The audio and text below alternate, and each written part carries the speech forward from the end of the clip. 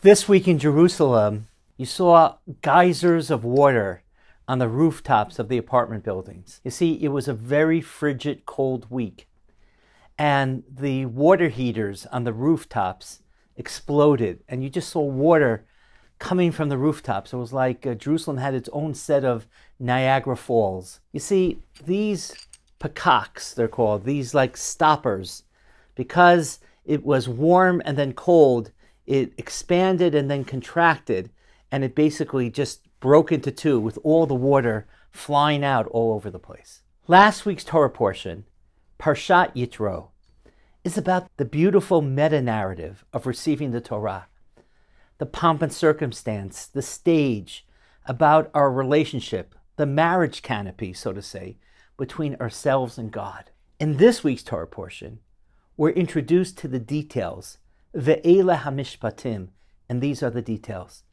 The juxtaposition between the meta narrative, the big picture, and the details is critically important, highlighted by so many of our commentators. What an important message for us. Because sometimes, in order to deal with the big, grandiose ideas, you need to understand that the details, the small things, are critically important. Yes, we can't just deal with the details because then we lose the larger message.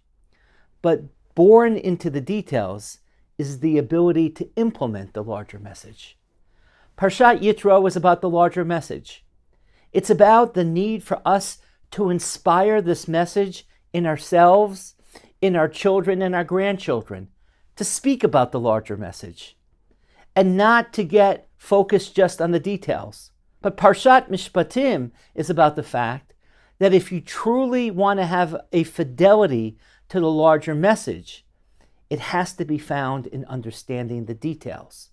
After all, Shabbat is a beautiful meta narrative, but it is only experienced when you're connected and committed to the details. Our responsibility to be a moral people and to engage people with respect is critical, but it is only implemented in the details that are found in the nooks and crannies of Parshat Mishpatim. You can have a large water heater that has 150 liters of water on your rooftop.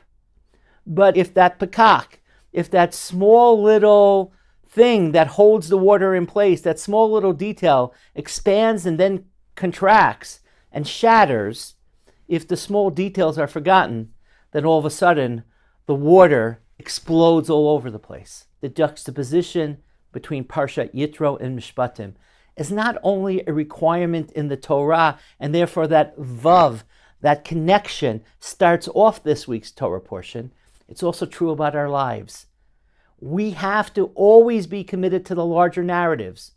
We have to share those larger narratives.